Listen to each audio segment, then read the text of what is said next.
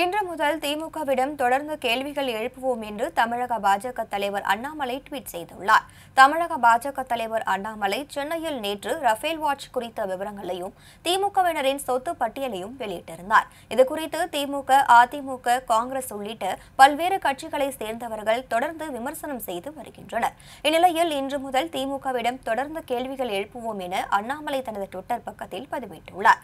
அதில் நேற்றைய தினம் நான் அணிந்திருக்கும் கைகடிகாரத்தின் ரசீது வங்கி கணக்கு கிரெடிட் கார்டு மற்றும் கல்விக் கடன் விவரங்களுடன் திமுகவினரால் குவிக்கப்பட்டுள்ள சொத்துக்களின் விவரங்களையும் பொதுமக்கள் பார்வைக்காக வெளியிட்டிருந்தேன் என்றும் அவற்றின் விவரங்களை என் என் மண் என் மக்கள் என்ற இணையதளத்தில் வெளியிட்டுள்ளதாகவும் தெரிவித்தார். இன்று முதல் திமுகவிடம் தொடர்ந்து கேள்விகள் எழுப்புவோம் என்றும் மக்களுக்கான எங்கள் கேள்விகளுக்கு உரிய பதில்களையும் திமுகவிடமிருந்து எதிர்பார்ப்பதாகவும் அண்ணாமலை தெரிவித்துள்ளார்.